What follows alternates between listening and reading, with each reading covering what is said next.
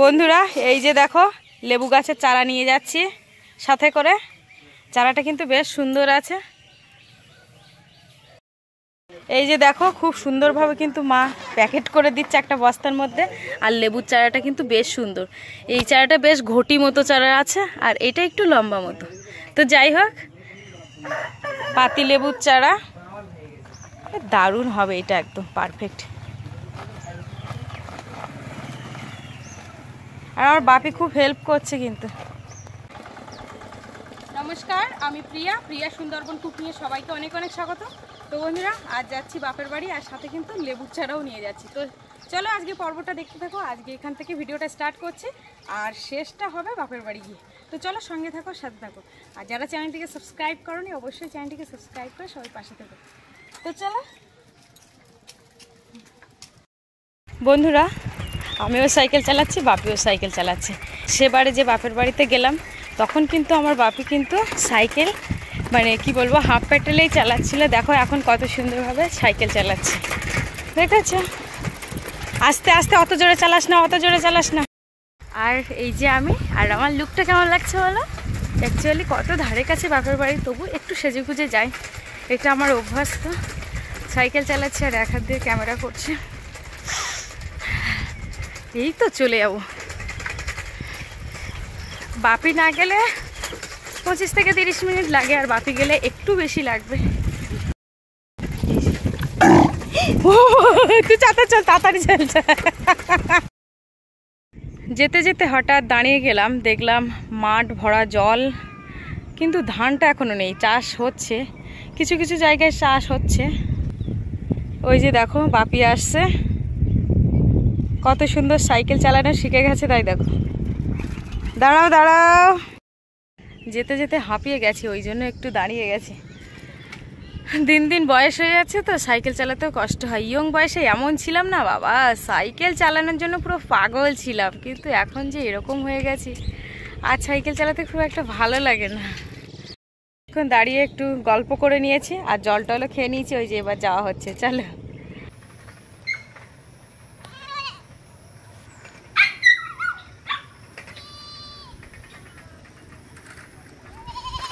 তাহলে শেষমেশ চলেই আসলাম।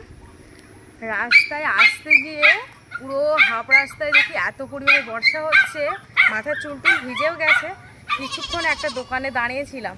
তো এবারে দেখো অবস্থা, দেখো পাপি, পাপ্পি কি করছে, দেখো। আর বাপি অলরেডি আগে ঢুকে গেছে। চলো, এই সাইকেল ঘরে ঢুকিয়ে দাও। হ্যাঁ?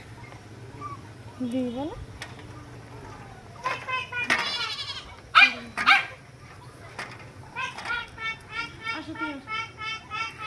বন্ধ দেবো না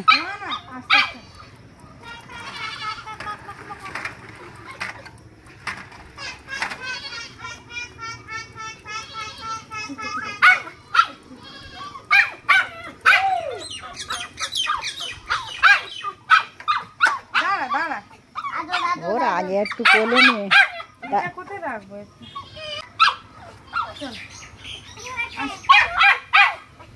কি হচ্ছে কি হচ্ছে এই তো এই তো এই তো এই তো এই তো এই তো এই তো ঠিক আছে এই যে থাক থাক থাক থাক। ও! দেখো না ও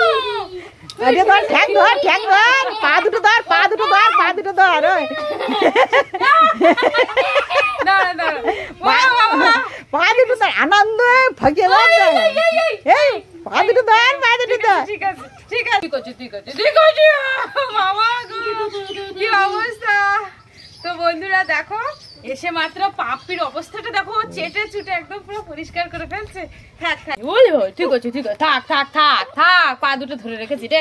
এই তুই তুই তুই তুই আমার চিনতে পেরেছি চিনতে পেরেছি। ও সবারই তিনবার ওরা আদর করার জন্য হ্যাঁ, হ্যাঁ, হ্যাঁ, ঠিক আছে, ঠিক আছে, ঠিক আছে, ঠিক আছে, ঠক, ঠক, ঠক, ঠক, ঠক, ঠক, ঠক। গায়ে আগুন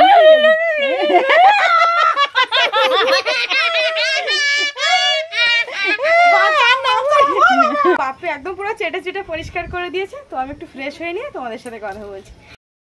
দেখো, এদিকে দেখো, দুটো ছানা পোনা একদম কত, একটু একটু ধরে রাখো ধরে রাখো। দেখো, কে তুলে দিয়ে গেছে রাস্তার সামনে, আর আমার মা তো খুব একদম বিড়াল, দেখলে আর রক্ষে নেই। কত কিউট কিউট বেবি দেখেছে? ছো না বেবি সব মা এদেরকে দুধ দিয়ে ভাত দেয় সবসময়। ভাত খেতেও জানে না। এই যে বন্ধুরা দেখো এসেই দেখতে পাচ্ছি মা আর মা তো পুরো মানে কি বলব অবাক হয়ে যাচ্ছে যে তুই ফোন না করে চলে এলি। মাকে প্রত্যেকবার আসার সময় আমি ফোন করেই জানাই কিন্তু এবার আর ফোন করে জানাইনি। একদম পুরো সারপ্রাইজ দিয়েছি। তোমার কেমন লেগেছে বলো? কেমন লেগেছে? ফোনটা করতে পারতি? আমি হঠাৎ হঠাৎ আছি, কিরম বাবি আসছে কেন? বাপি সামনে আসছে আর আমি পেছনের দিকে মা রাস্তায় বসেছিল।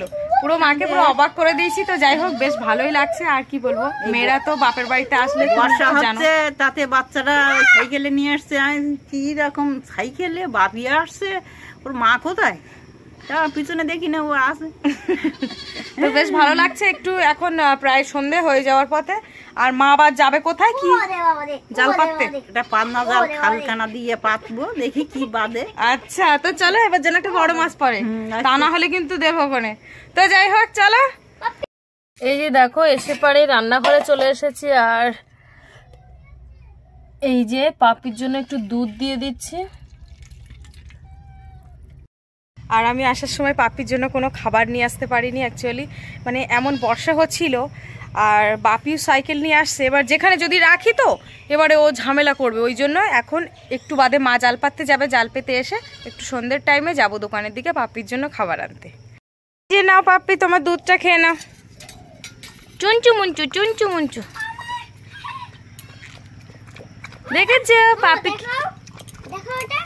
আর এই যে দেখো, বাপি আসার সাথে সাথে শুরু করে দিয়েছে দিদুনের ফোন নিয়ে বসে, তাই তো? চলো। খেয়ে নাও। পাপি তুমি দুধু খেয়ে নাও হ্যাঁ? তুমি আবার ও বাবা বাবা। হ্যাঁ। মায়ে তো সবজি গাছ তো বেশ ভালোই লাগিয়েছে দেখছি। এগুলো কি, বরবটি? বরবটি গাছগুলো বেশ ভালোই উঠেছে। বেশ সুন্দর। কিন্তু এরপরে যদি বর্ষা হয়, তাহলে কিন্তু পরিস্থিতি খারাপ হয়ে যাবে। এই যে দেখো, মা কিন্তু একদম তৈরি হয়ে নিয়েছে জাল পাতার জন্য। পুরো ড্রেস করে ফেলেছে। আর এসে কিন্তু বেশ ভালোই লাগছে। একদম পুরো চারিদিকে জলে ভরা। তো এসব জায়গা দিয়ে ঘুরে গেছিলাম। ই মা, কি সুন্দর সেই গন্ধরাজ ফুল ফুটেছে। তো বেরোয় সন্ধ্যের টাইমটা বেশ সুন্দর লাগে। আয় আয় আয়। এই যে দেখো, মুরগিরা কীভাবে আছে। আয় দিকে চলে আয়। এদের খুব কষ্ট হয় জানো তো? কারণ বর্ষাকালে এদের খুবই অসুবিধা কাদা জলের মাঝে এরা থাকে। দেখেছ? মুরগিগুলো দেখে নাও। জাল ওর মধ্যে ছিল?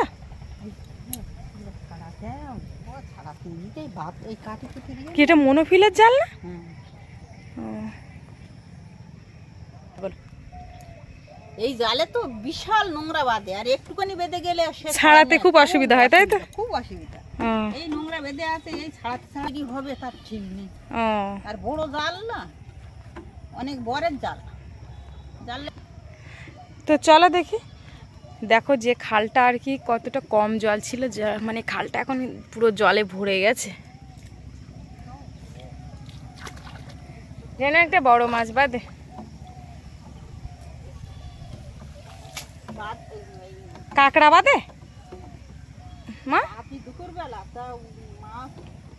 ছয় মাছ মরে কে খালে শোল মাছ বাঁধেছিল? তাহলে তো বেশ ভালো। ও। আরে সে মরে যা বাদে বাদে। আচ্ছা আচ্ছা অন্ধকারে পাখি দেই শুয়ে আছি, আর কি হবে?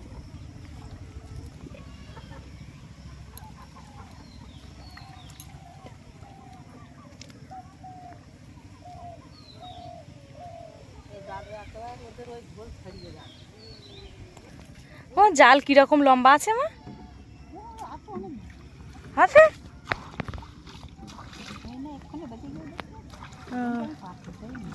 আচ্ছা আচ্ছা। তোমার জালটা বেশ লম্বাও আছে মনে হয়, বলো? কিন্তু জড়িয়ে যায়। এই যে। কোথায়? যখন ছোট ছিলাম মা, এই খালে সেই ভেলা তৈরি করার জন্য কি করেছিলাম মনে আছে সেসব কথা তো? কি ঝামেলা, ভেলা তৈরি করে দিতেই হবে। তখন বাড়িতে কলা গাছও ছিল। বাড়িতে কলা গাছ ছিল প্রচুর। এবার দাদা আর আমি দা নিয়ে পুরো ছোটাছুটি করছি কলা গাছ কাটার জন্য। সবাই একটা করে ভেলা তৈরি করে নিয়ে খালে বেরিয়ে পড়েছে। এবার দাদার আর আমার ভেলা নেই। যাই করে একটা ভেলা করেছি। বাবা যেই না খালে নেমেছি সেই সাথে সাথে ভেলা ডুবে গেছে কি অবস্থা?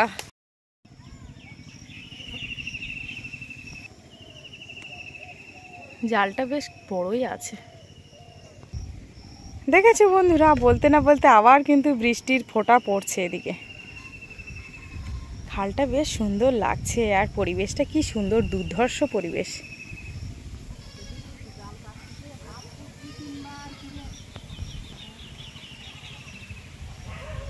বেশ ঝোড়ো হাওয়া হচ্ছে এখানে। চলো।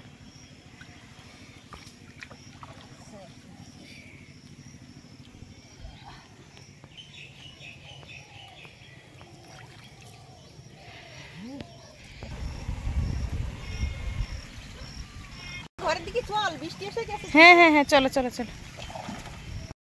জাল পাততে পারতে আমার কি বৃষ্টি এসে গেছে গো? ঝিরঝির করে বৃষ্টি পড়ছে।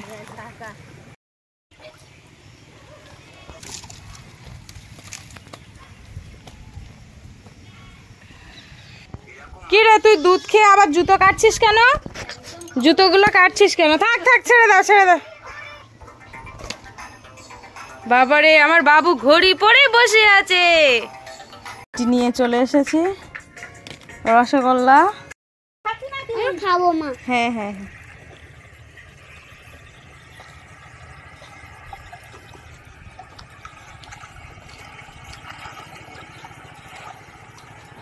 তুমি একটা খাও মা। না? গালে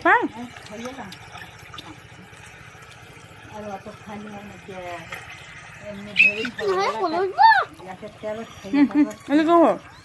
খাবে। না বিড়ালকে দিয়ে না কুকুরকে দেবে না লোম উঠে যাবে।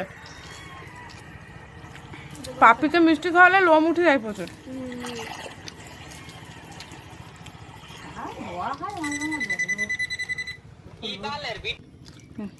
না। পালা পালা দিয়েছি। যদি হয় ঘেরার গায়ে না।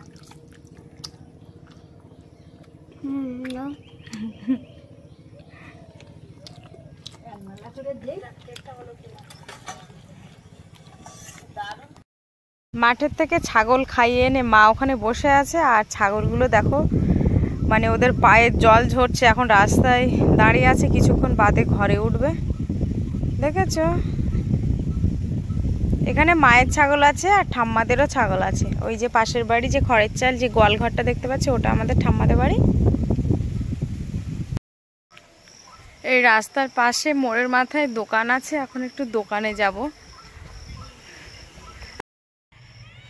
বন্ধুরা, রাত হয়ে গেছিল, আর কি বলব, রাতে খাওয়া দাওয়া করে শুয়ে পড়েছিলাম। আর সবসময় ক্যামেরার পাশেও আসতে পারিনি। তো সকালবেলা ভিডিওটা শেষ করছি। তো ভালো লাগলে লাইক কমেন্ট করো। টাটা সবাই ভালো থাকবে দেখা হচ্ছে নেক্সট ভিডিওতে